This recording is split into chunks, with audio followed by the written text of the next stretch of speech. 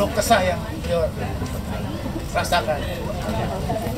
Selama saya mengenal beliau dari tahun 75 sampai hari ini, beliau adalah senior saya, sahabat saya, teman yang baik.